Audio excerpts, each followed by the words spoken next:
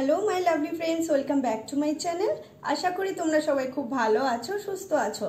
কোয়েস কিচেনের আরও একটি নতুন রেসিপিতে তোমাদের সকলকে স্বাগত জানাই। তো বন্ধুরা, তোমাদের মধ্যে যারা আমার চ্যানেলকে সাবস্ক্রাইব করেছ, তাদের সকলকে অসংখ্য ধন্যবাদ। যারা এখনও করনি অথবা যারা আজকে নতুন দেখছ, বিভিন্ন রকম বাঙালি খাবারের রেসিপি পেতে ইউটিউবে গিয়ে কোয়েস কিচেন বাঙালির ভুরিবোধ চ্যানেলটিকে প্লিজ সাবস্ক্রাইব করো এবং পাশে থাকা বেল আইকনটিকে হিট করো, যাতে আমি নতুন কোনো ভিডিও আপলোড করলে তোমাদের কাছে তার নোটিফিকেশন ঝটপট পৌঁছে যাবে। তো চলো বন্ধুরা, দেরি না করে ঝটপট তৈরি করে ফেলি আজকের রেসিপি তোমরা প্লিজ আমার সাথে থেকো এবং ভিডিওটা শেষ পর্যন্ত দেখো। বন্ধুরা, আজকে আমি তোমাদের জন্য একটি ইভিনিং স্ন্যাক্সের রেসিপি নিয়ে চলে এসেছি, যার নাম হলো mini egg potato patties patties এমন একটি খাবার যেটা বাচ্চা থেকে বড় আমাদের সকলেরই খুব ভালো লাগে, আর সেটা যদি ইভিনিং স্ন্যাক্স হয় তাহলে তো আর কোনো কথাই নেই।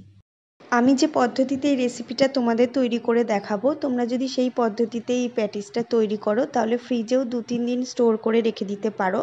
কোনো রকম খারাপ বা শক্ত হওয়ার ভয় নেই।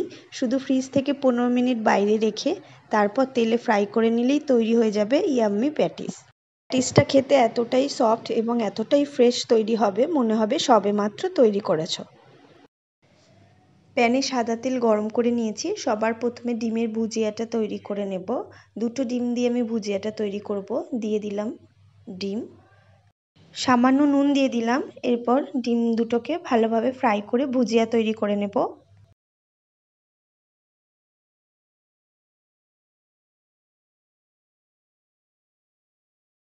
ডিমের ভুজিয়া তৈরি হয়ে গেছে। প্যান থেকে তুলে নেব। তারপর চলে যাব নেক্সট স্টেপে সাদা তেল দিয়ে বাকি রেসিপিটা তৈরি করব, তাই প্যানে সাদা তেল দিয়ে দিলাম। এক চা চামচ মতো গোটা সাদা জিরে দিয়ে দিলাম, ফোড়ন একটু ফ্রাই করে নেব। ফোড়ন থেকে একটা সুন্দর গন্ধ বেরিয়ে এসেছে, এরপর আমি এর মধ্যে দিয়ে দিলাম ছোট টুকরো করে কেটে রাখা আলু। আলুগুলো কিন্তু খুবই ছোটোভাবে কেটে নিতে হবে, যেমনভাবে আমি কেটে নিয়েছি, তাহলে আলু খুব তাড়াতাড়ি সেদ্ধ হয়ে যাবে। আলুগুলোকে ভালোভাবে ফ্রাই করে নেব। স্বাদ মতো নুন দিয়ে দিলাম।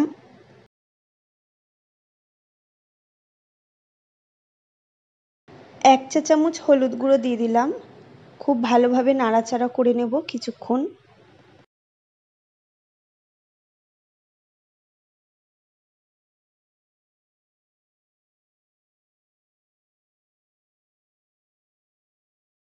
গ্যাসের ফ্লেম লোতে রেখে দশ মিনিটের জন্য ঢাকা দিয়ে দিলাম। এতে আলু খুব ভালোভাবে সেদ্ধ হয়ে যাবে। দশ মিনিট হয়ে গেছে, ঢাকনাটা খুলে দিয়েছি। আলু খুব ভালোভাবে সেদ্ধ হয়ে গেছে। এরপর আমি এর মধ্যে দিয়ে দিলাম চপ করে রাখা কাঁচা লঙ্কা আর পেঁয়াজ। এখানে একটা বড় সাইজের পেঁয়াজ আছে আর চারটে কাঁচা লঙ্কা আছে। খুব ভালোভাবে ফ্রাই করে নেব।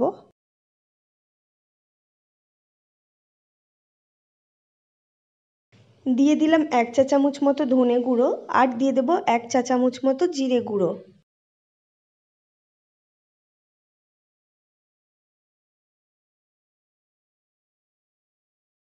এক চা চামচ মতো কাশ্মীরি গুঁড়ো লঙ্কা দিয়ে দিলাম, মশলা খুব ভালোভাবে কষিয়ে নেব।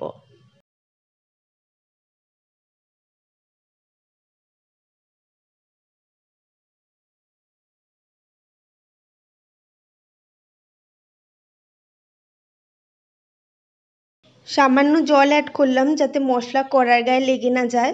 মশলা ভালোভাবে কষিয়ে নেব যাতে মশলার কাঁচা গন্ধটা না থাকে।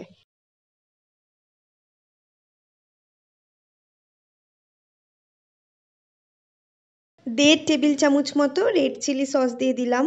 আর দিয়ে দিলাম দু টেবিল চামচ মতো টমেটো সস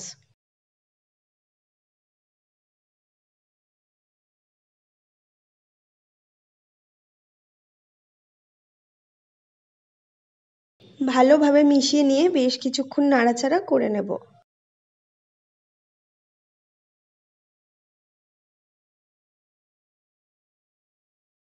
দিয়ে দিলাম এগ ভুজিয়া। ভালোভাবে মিশিয়ে নিয়ে আরও কিছুক্ষণ নাড়াচাড়া করে নেব।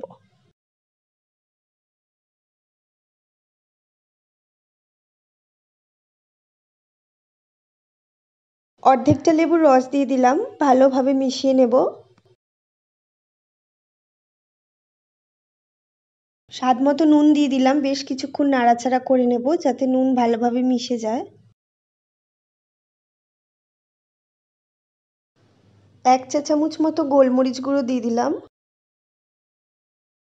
প্যাটিসের ভেতরের এগ আর পটেটোর স্টাফিংসটা তৈরি হয়ে গেছে। চলে যাব নেক্সট স্টেপে চলে এসেছি নেক্সট স্টেপে এরপর আমি প্যাটিস শিটটা তৈরি করে নেব। দু কাপ মতো ময়দা নিয়ে নিয়েছি। ওর মধ্যে দিয়ে দিলাম স্বাদ মতো নুন আর দিয়ে দেবো সামান্য চিনি।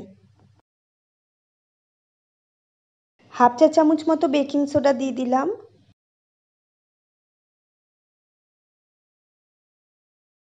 দেড় টেবিল চামচ মতো সাদা তেল দিয়ে দিলাম। সবকটা উপকরণ দিয়ে শুকনো ময়দাটাকে আগে হাত দিয়ে ভালোভাবে মেখে নেব।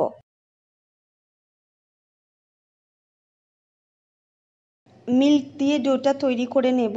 এখানে আমি ফুল ফ্যাট মিল্ক ব্যবহার করছি। তোমরা চাইলে যে কোনো নর্মাল মিল্কই ব্যবহার করতে পারো।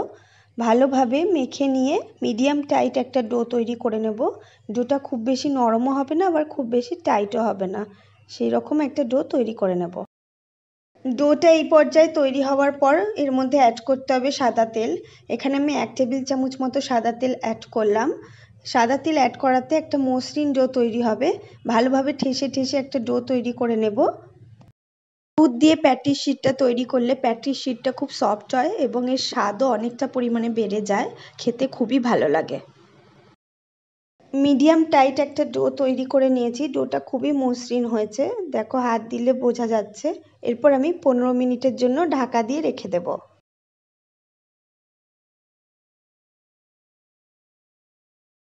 পনেরো মিনিট হয়ে গেছে। এরপর আমি প্যাটিস শিটগুলো তৈরি করে নেব।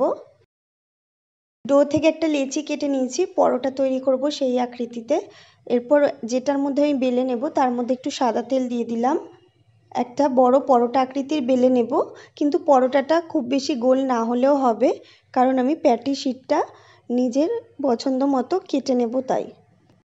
তেল কিন্তু একবারই দিলে হবে, আর দিতে হবে না। প্যাটি শিটগুলো তৈরি করার জন্য যে পরোটাগুলো বেলে নেব, সেগুলো কিন্তু এই তেলেই বেলা হয়ে যাবে।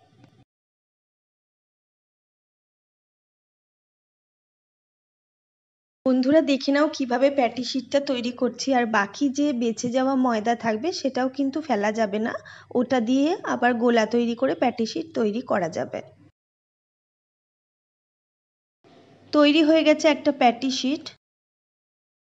প্যাটি শিটের মধ্যে দিয়ে দিয়েছি আলু আর ডিমের স্টাফিং যেটা আমি তৈরি করে রেখেছিলাম। এবার কীভাবে প্যাটিসটা তৈরি করব, তোমরা দেখে নাও। এরপর আঙ্গুল দিয়ে প্যাটিসের চারপাশটা খুব ভালোভাবে প্রেস করে নিতে হবে যাতে প্যাটিসের মুখটা ভালোভাবে আটকে যায়।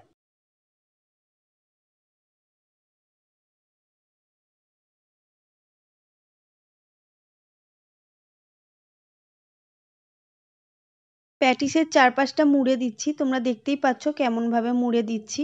এতে ভাজার সময় পুর ভেতর থেকে বেরিয়ে আসবে না।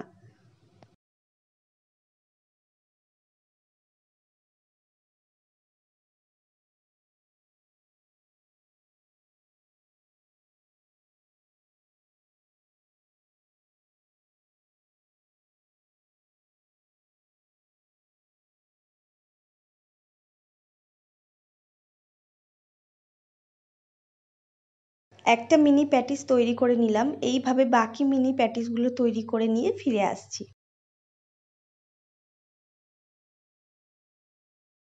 সবগুলো মিনি প্যাটিস তৈরি করা হয়ে গেছে। এরপর প্যাটিসগুলোকে ফ্রাই করে নেব। প্যানে সাদা তেল ভালোভাবে গরম করে নিয়ে গ্যাসের ফ্লেম লো করে দিলাম। এরপর একটা একটা করে প্যাটিস তেলের মধ্যে দিয়ে দিলাম। ভালোভাবে ফ্রাই করে নেব।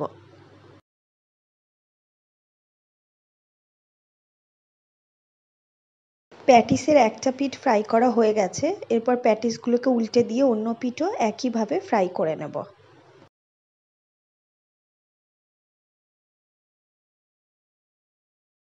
প্যাটিসের দু পিঠ ভালোভাবে ফ্রাই করা হয়ে গেলে তেল ঝরিয়ে তুলে নিয়ে বাকি প্যাটিসগুলোও একইভাবে ফ্রাই করে নেব। তৈরি হয়ে গেছে আজকের রেসিপি, এগ পটেটো প্যাটিস। আমি রেড চিলি সসের সাথে সার্ভ করেছি। তোমরা চাইলে যে কোনো সসের সাথেই সার্ভ করতে পারো। প্যাটিসের ভেতরটা কেমন হয়েছে সেটা আমি তোমাদের দেখানোর জন্য আমি একটা প্যাটিস মাঝখান দিয়ে কেটে রেখেছি। তোমরা দেখতেই পাচ্ছ ভেতরটা কেমন তৈরি হয়েছে।